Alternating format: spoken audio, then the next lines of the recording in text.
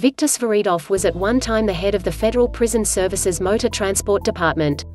He was convicted of extorting 10 meters rubles, 121,000 pounds, $155,000 from the service's former deputy director. Moments after the judge ordered he be taken into custody, Sviridov shot himself in the head. A court spokeswoman quoted on Russian news site RBC says he is thought to have brought the gun into the court himself. Police are at the scene. Authorities have announced an investigation into court security following the shooting, RIA News Agency reports. Sviridov was ill with stage 4 terminal cancer. He was under house arrest before the trial, which took place at Moscow's Chertanovsky court. His lawyer, Grigory Ivanishchev, told Interfax news agency that his client expected a not guilty verdict, and did not have suicidal tendencies.